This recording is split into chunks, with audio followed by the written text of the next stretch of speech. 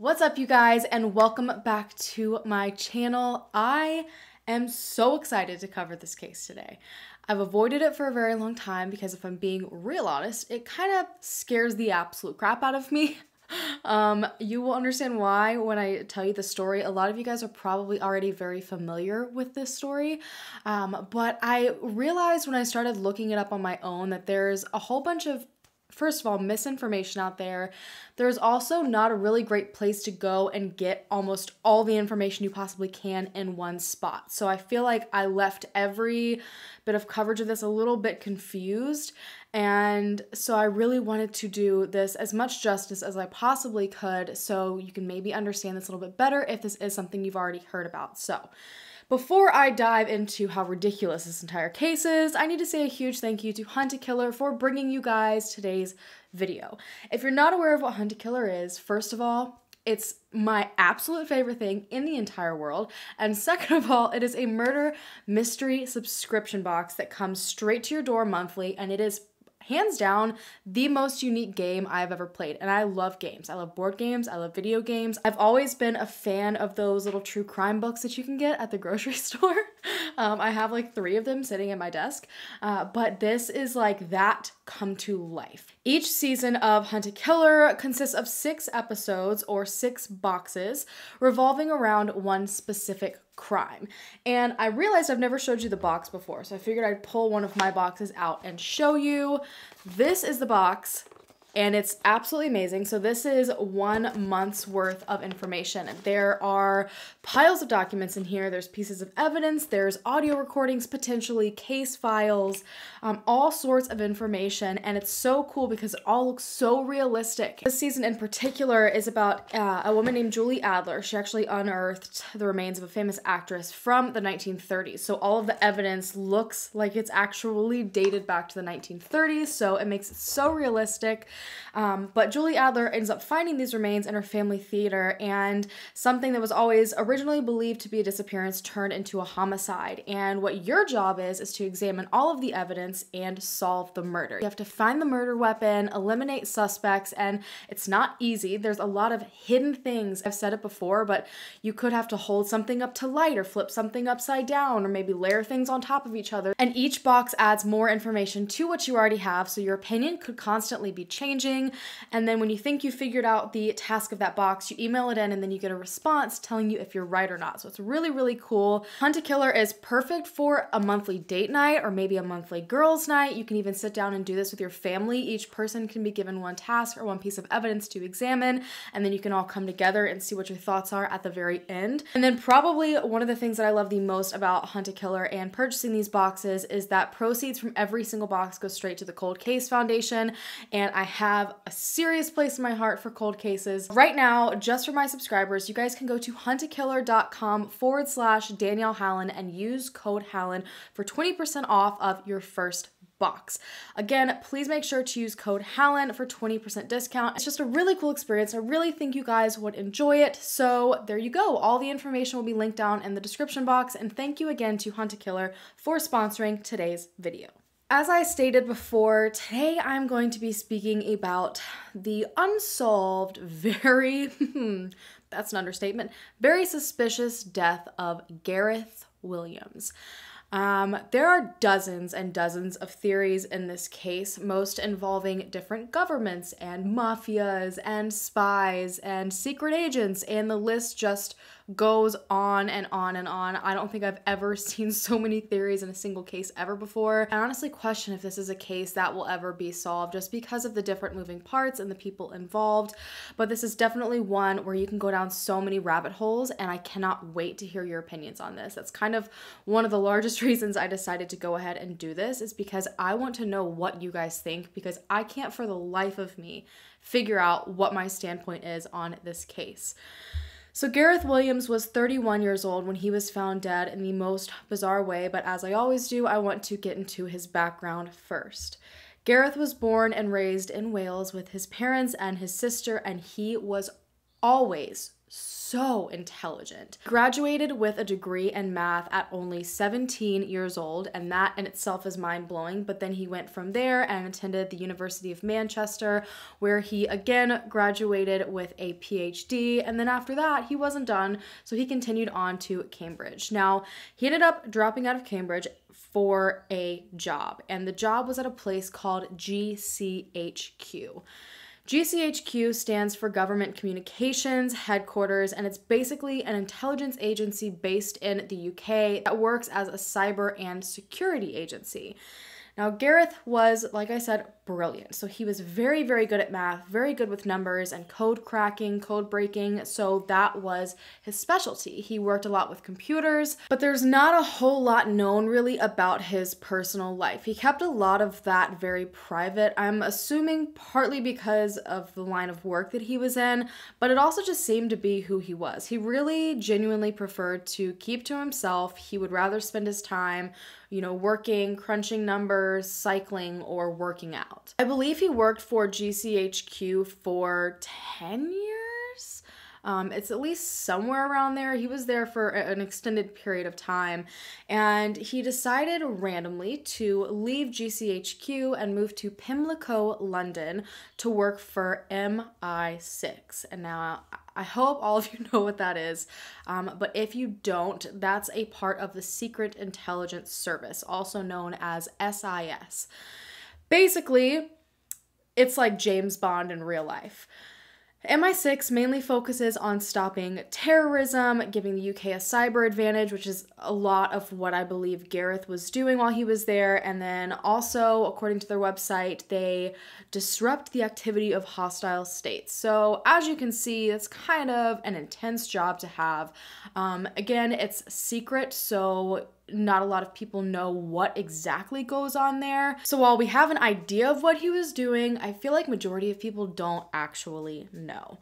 Now, when he moved to London to work for MI6, he rented out a top floor apartment.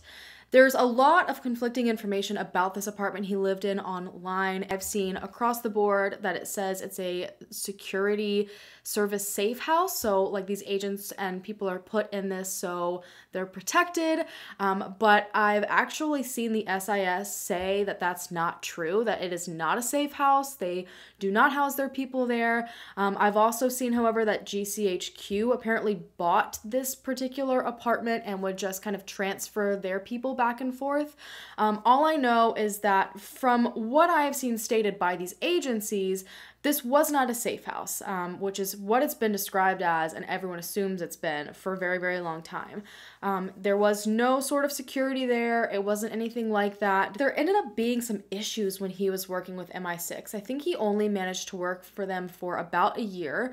He began to complain to his sister that there was friction and I don't know exactly what that means. I'm sure he couldn't really go into detail about it, but he decided because of this friction that he was going to go back to his job working for HCGQ. One week before he was set to make this move back to GCHQ, he was found dead. In the second week of August, and I don't have an exact date again because sketchy information, Gareth's sister could not get in touch with him, and this was unlike him, they seemed to be relatively close. It got to the point that she decided to call MI6 herself to figure out what exactly was going on and where Gareth was, if he was showing up to work, and she was shocked at what they told her. MI6 said that Gareth had not been at work for a week. She had called MI6 on the 23rd of August 2010, so he had been gone for a week before that, and no one had any idea. And apparently, MI6 had not thought to call authorities or check on him or anything. Now, this was shocking to her and obviously shocking to me, and probably a lot of you that are hearing this because this is a secret agency. Um, their employees have a lot of knowledge that not a lot of people have and work in situations that put them at a very high risk. And it's just kind of surprising to me that one of their employees can go missing for an entire week and they not notice it. And so I've tried to justify this quite a few times, thinking, well, you know, he wasn't, he'd only been working there for a year, so it's not like he was one of their star employees. But apparently, he was supposed to host two different meetings. Like he was in charge of two pretty large meetings when it comes to cyber safety and things like that. And he didn't show up for them. So, not just him, but all of these other employees are showing up for these meetings and he's not there. And not a single person was like, uh, you know, he hasn't showed up for work in a couple days. We might want to check on him. Because of this, Metropolitan Police were called and sent out to Gareth's home for a welfare check. When they arrived, nobody was answering the door, so they eventually had to force their way into the apartment and they began to look around. Now, right off the bat, it didn't appear that there was any sign of forced entry. The door appeared to be locked up just fine. Things in the apartment didn't seem disrupted. The only odd thing they noticed right away was that the heat in the apartment was set all the way up. It was blazing hot. And this was summer months in the UK, and while they don't get wildly hot, it's definitely not a time where the heat needed to be on like that. They did a quick sweep of the home and realized that Gareth was not there, at least they thought. So they decided to take a deeper search into the home to see if there was anything missing, anything off. All of his personal items were there. They were all laid out on the floor, and I don't know, something about the way they're laid out kind of wigs me out a little bit. But it's his laptop and his phone and his phone charger and a notebook, and they're all kind of just laid on the floor beside his couch.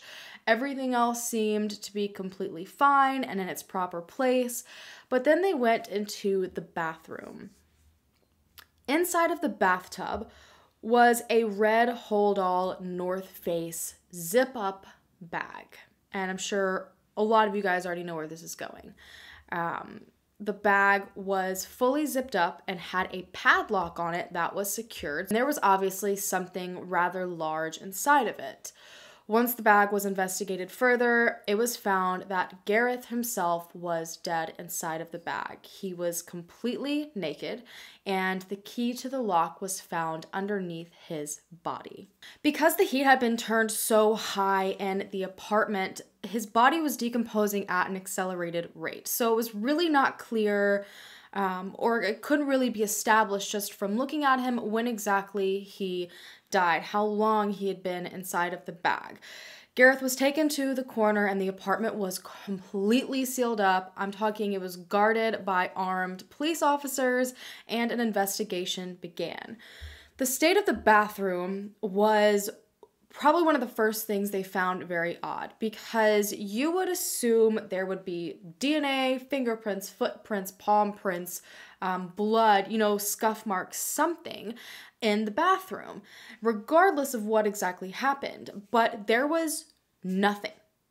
I've seen through a couple of sources there may have been one scuff mark on the bathtub that may indicate that he was kind of picked up in the bag and put into the bathtub. Um, but I've also seen reports saying that that is not a real thing and that doesn't exist. But what I do know for sure is that there was not a single fingerprint in that bathroom. No fingerprints on the edge of the tub as if someone like held it to get in. So, if, you know, Gareth maybe got in. No one, you know, braced themselves while they were trying to put the bag in. Um, there were no footprints as if someone was walking, you know, in and out of the bathroom. Uh, there was no palm print. I mean, nothing all over the entire bathroom. They tried to check the padlock, obviously, because that could easily give some answers as to who was holding it to lock it. Not a single fingerprint was on the padlock. There was no DNA or anything on the uh, zipper. It made absolutely no sense. It was to the point where you would be led to believe that the bathroom, in the very least, had been cleaned. Now, when it comes to DNA in the bathroom, I have seen that they were able to take quite a few samples from the bathroom. Since they were heavily relying on this, since there was no other evidence, they sent this off for testing right away. And when it came back, it shockingly came back as one of the forensic investigators' DNA. So basically, the crime scene had been contaminated. So they had absolutely nothing. Gareth's body also gave authorities no clues either. He had no scratches on his body, There were no defensive wounds. There was no obvious sign, like underneath his fingernails or anything, that he had attempted to get himself out of the bag. There was no evidence from the inside of the bag either that he had tried to get himself out. He had not been stabbed. He had not been shot. He had not been strangled. He had not been tied up. I have seen on a few sources that there were a few bruises potentially on his elbows, but other sources say there were no bruises at all. Again, the information in this case is just something else.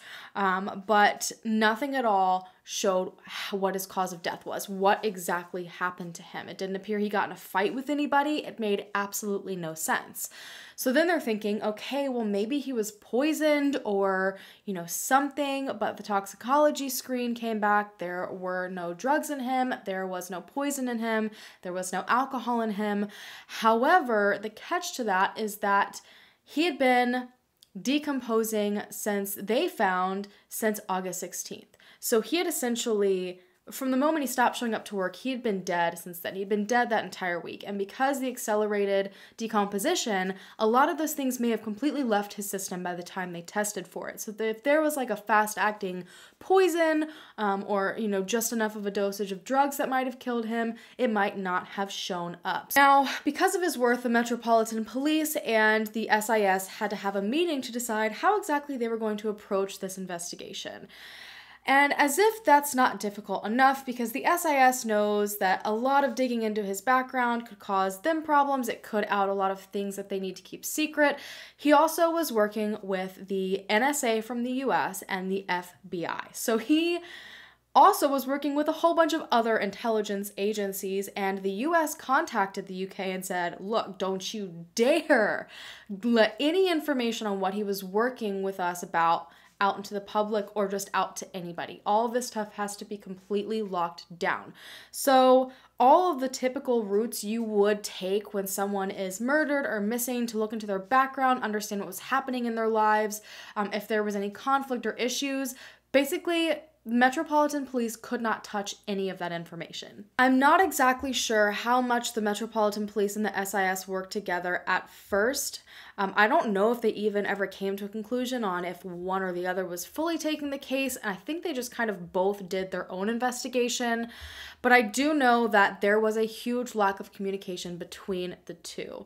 When the SIS went to do their own separate investigation, they wanted to make sure that there was no sign of forced entry, but for some strange reason, the Metropolitan Police had completely taken off the door and the lock to the apartment. So there basically was contamination again of the crime scene, and the SIS couldn't determine if there was any forced entry.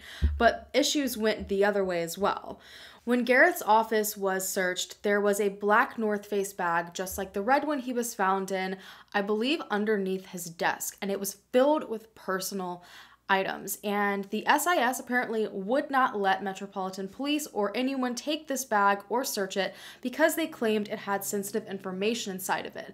But from what I've seen, it was personal belongings, so I'm not quite sure what they thought may have been in there. And I also find it very odd he had that many personal items at work with him. It was just very frustrating for everyone because Metropolitan Police and Gareth's family could not understand how an agency like that could simply ignore one of their employees not showing up to work for a week, and they didn't seem very cooperative when it came to helping Metropolitan Police out with the investigation. This was going absolutely nowhere, so an inquest began. But when this started, it was not very long before his private, very personal life was just unraveled for everyone to see.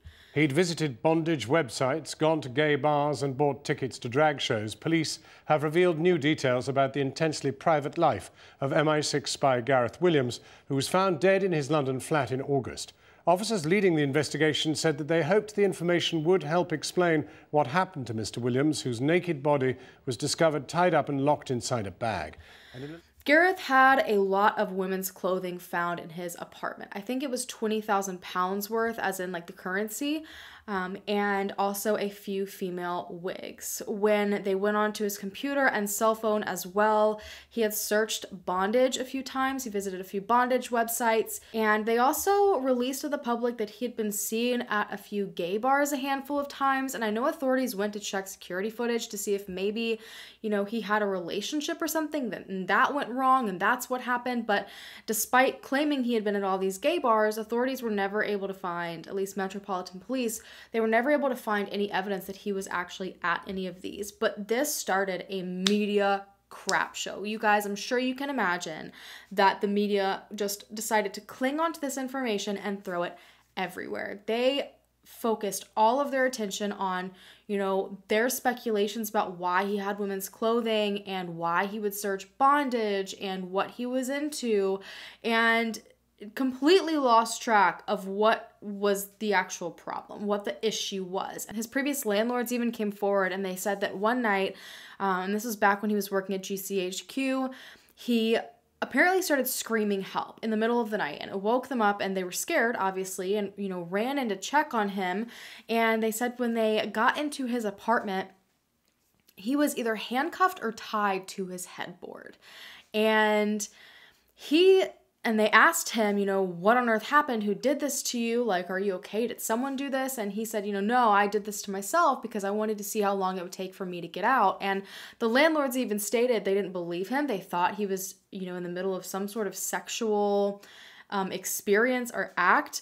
And this just further pushed the idea that Gareth did this to himself, that he put himself in the bag. A lot of people believe maybe, you know, if it wasn't sexual, he was interested in escapism, which is something that a lot of people are fascinated by. They put themselves in situations that they are not sure they can get out of, and then um, it's like it's like Houdini basically, you know, just escaping from a box or you know managing to get yourself out of something locked without the key. But there were no searches like that on his computer. Escapism just didn't seem to be a thing. A lot of people speculated that maybe he was doing this because of something work related, um, and that's why they just couldn't find any trail behind it of his interest in it.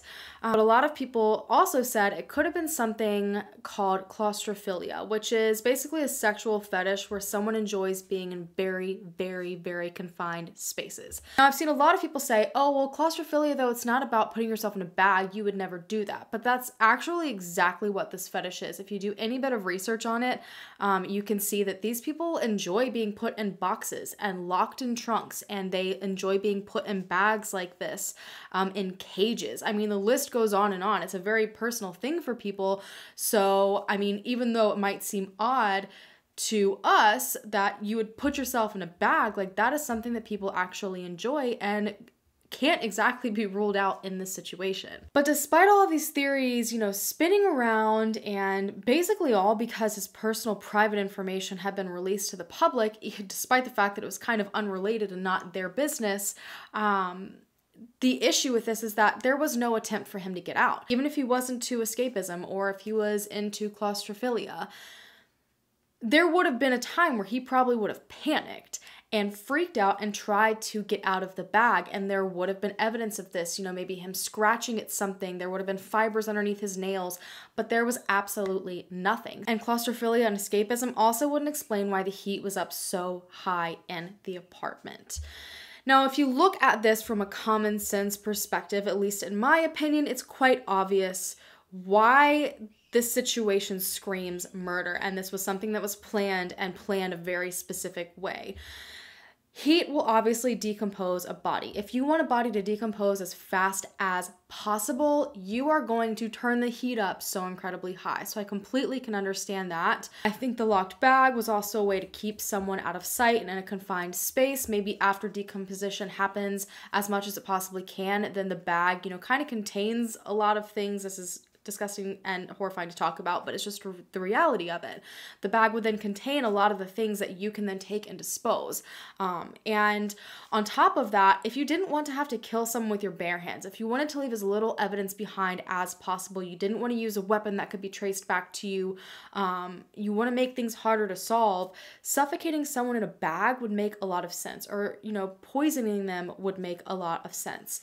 And then if you also think about it, his apartment was on the top floor I think he might have been put into the bathtub if this was a murder in order to contain, you know, any fluids or anything like that so they wouldn't leak maybe down below and someone would be alerted to his decomposing body faster than someone may have wanted. I just think this is something that's so incredibly calculated. Um, and it worked out, and whoever did this, it worked out in their favor because there has been nothing left behind. The inquest went on for a while, and it was honestly an absolute disaster. All you have to do is watch any of the media coverage on this, people going back and forth at each other. There are just daggers being thrown from every direction, but it was finally determined that this was not something Gareth could have done to himself. First of all, again, there were no DNA or fingerprints found on the lock or the zipper. If he had put himself in there, it would be all over the zipper from him struggling trying to do that. It would be all over the lock from him trying to lock it, and he would not have been able to wipe this off after it was locked. Um, and apparently, experts came in and attempted to lock themselves in the exact same kind of bag. And the one man who did it, I think almost 400 times, he was even smaller than Gareth, and he was not successful a single time.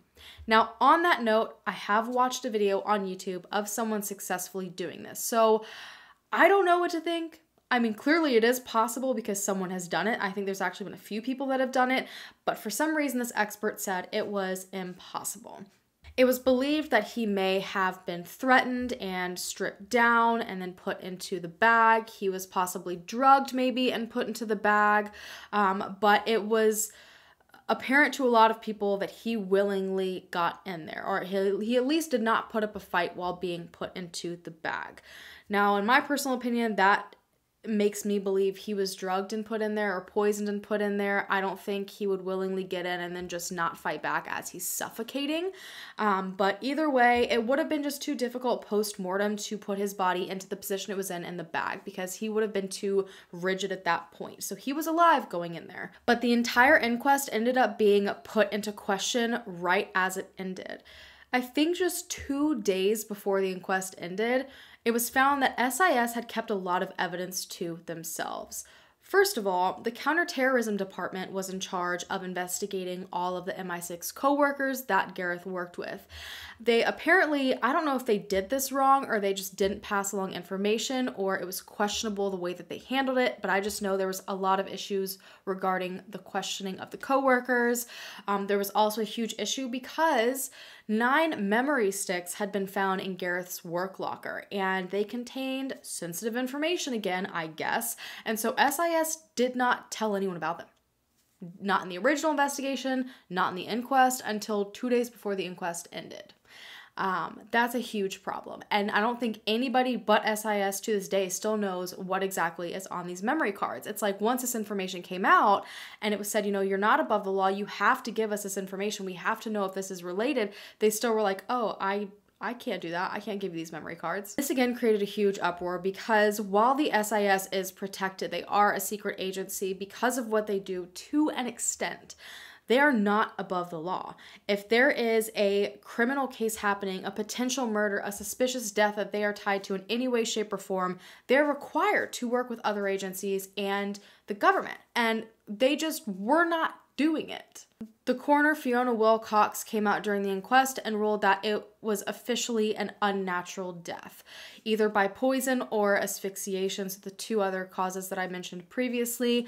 She stated that during the inquest, she believed the bag had actually been moved to the bathtub. I can't find anywhere why she believes that, um, but she just believed that it was put into the bathtub with Gareth in it. He did not get into it in the bathtub or was placed in it into the bathtub, but this kind of opened up the possibility that this isn't even where he might have been killed or where he died. This bag may have been somewhere else and transported to his apartment and put into the bathtub. She even called out the investigative agencies hard. I'm honestly shocked at the way reporters called out these agencies in different interviews, and then Fiona went in on these agencies. She said that evidence was hugely mishandled. Some evidence was turned in far too late, or it was just completely missing altogether. She said that the entire investigation was mishandled. She even said that she believed that all of the information that suddenly came out about his personal life, things that only investigating agencies would have had, it all came out right at the inquest as it started. And she believed this was an attempt to manipulate the public into viewing the circumstances and the evidence a very specific way and to kind of take the spotlight and move it somewhere else. So this made people lose it because they're thinking this coroner is basically stating that the government is trying to convince everyone something else happened to this man. So basically, a cover up. The Metropolitan Police, after the inquest, decided to start yet another investigation that lasted 12 more months because they were not at all happy with the findings of the inquest. And you guys, I can't help but laugh. Um, what they found is honestly quite comical. I guess the conclusion that they came to. So they said at the end of this 12 month investigation, after the inquest and after another original investigation, they said it was probably an accident. Like, quote for quote, like exactly what they said. They said, oh yeah, we looked into this again and it was probably an accident. Metro Police said that they believed he may have been, again, I've already gone through this, attempting this escapism act and it went wrong. They even said that he may have been, again, in the middle of something sexual and that went wrong. But they said that since there was no evidence of anyone else there, that it was safe to conclude he put himself in the bag and it was an accidental death. They completely ignored the plethora of evidence that suggests there was no way he put himself in the bag and just called it a day by saying it was probably an accident. Now, this case has never been classified as a murder investigation, only a suspicious death.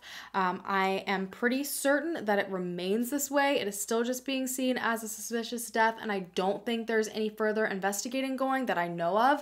It kind of created this huge uproar, but then it like very quickly fizzled out, which mm, when I get to the theories, I can't wait to hear what you guys have to say.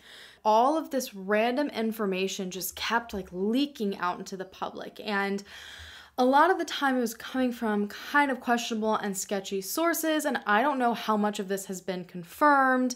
Um, so just take that for what you will. I had a few bits of information come from what seem to be reputable sources, but it's also coming from people that are claiming to be like retired MI6 agents and working with the KGB and like all these different agencies, but they don't want their names out there and they don't want this information said. Um, and I don't know if their identity was ever confirmed by these news sources. So, again, this could all just be speculation or people just coming out to say what they want because this is very this can very easily be turned into something like sensationalized and very high mystery and people tend to want to throw themselves in the middle of that. So, here we go. Apparently, information came out that while at MI6, Gareth had breached his clearance to get access to a guest list for a party that Bill Clinton was hosting. He did this because a friend allegedly asked him to do so. This friend was supposed to be attending the party and maybe just wanted to know who else was going to be there. Honestly, the reasoning, I have no idea. Now, I've seen a lot of people say, "Oh, well, that's nothing. Like that doesn't make any sense. That's not a reason, you know, to for anyone to want to come after Gareth except yes, the absolute heck it is. Um, the kind of people that end up at those functions, at those sort of events, there's no telling. If the wrong person got their hands on a guest list, like, do you guys understand the kind of people that go to that? Do you there that would turn people that are huge, people that I'm sure plenty of people want to assassinate or you know get their hands on it turns them into sitting ducks with targets on their backs. So I feel like there could be plenty of reasons behind that as to why someone would be very upset that Gareth got this information. And on top of that, I mean, he somehow was smart enough and managed to breach his own clearance to get higher up to access this information.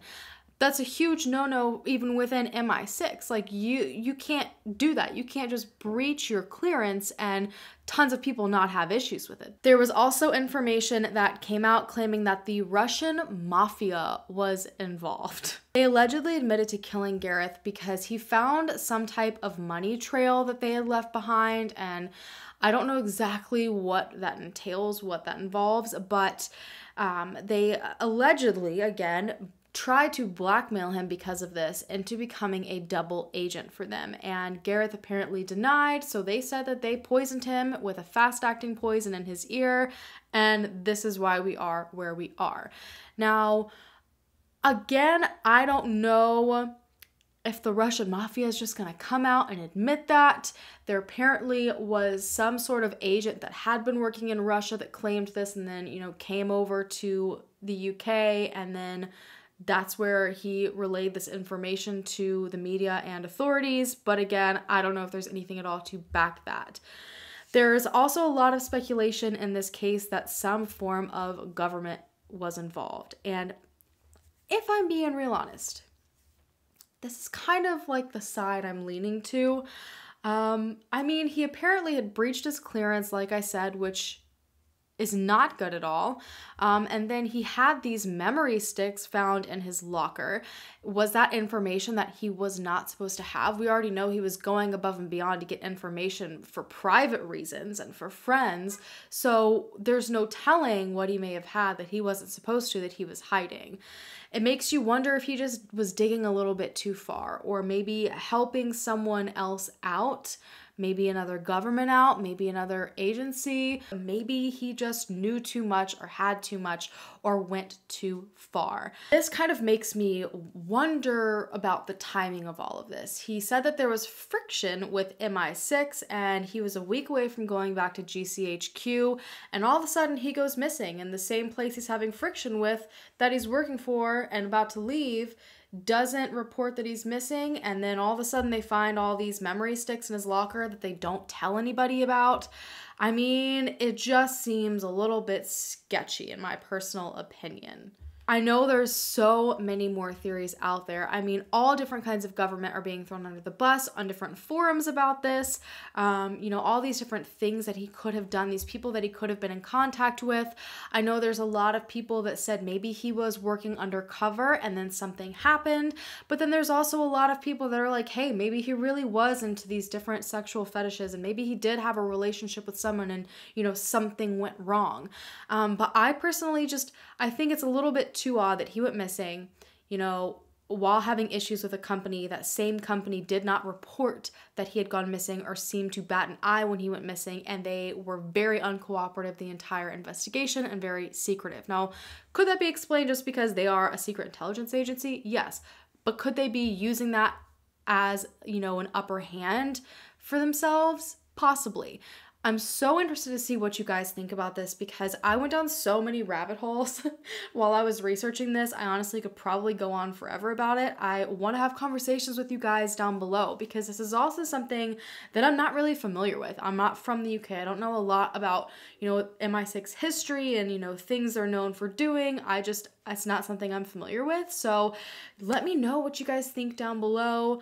I know a lot of you guys may also have experienced this because this did happen in 2010, so you might remember things that I couldn't find any longer online. It's really heartbreaking to me because the family is so incredibly frustrated because it's like all these agencies were so busy either trying to be in like a pissing contest to see who could solve something first, or they were too busy protecting their own asses, excuse my language you know, instead of trying to figure out what happened and find the answers, it's like they were withholding information to make themselves not look bad or, you know, to keep all these secrets.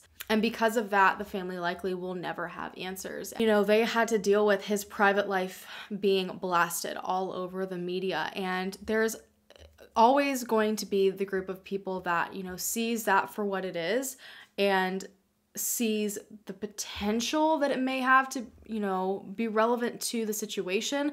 But then because of what it was, there's always going to be that large group as well that just uses that to trash him and say bad things and make assumptions and, you know, write him off. And I think that's absolutely disgusting.